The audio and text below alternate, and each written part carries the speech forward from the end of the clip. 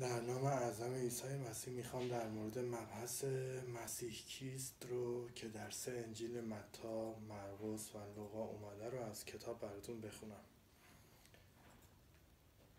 متا 22 41 تا 46 هنگامی که فریسیان گرد هم جمع بودند عیسی از آنها پرسید نظر شما در مورد مسیح چیست؟ او پسر کیست؟ پاسخ دادند پسر داوود.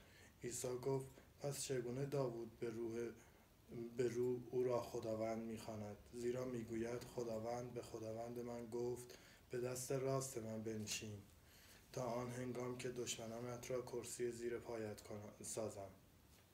و در مرقس دوازده سی و پنج تا سی و هفت هنگامی که عیسی در صحن معبد تعلیم می‌داد پرسید چگونه است که علمای دین می‌گویند مسیح پسر داوود است؟ داوود خود به الهام روح القدس گفته است خداوند به خداوند من گفت به دست راست من بنشین تا آن هنگام که دشمنانت را کرسی زیر پایت سازم.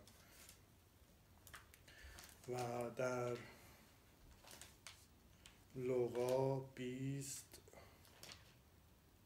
چهل و یک تا چهل و چهار.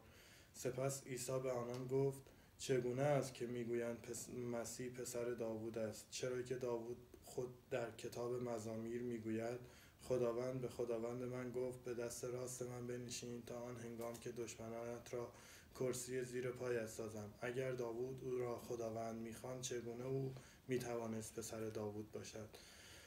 امیدوارم که از این آیه برکت گرفته باشید.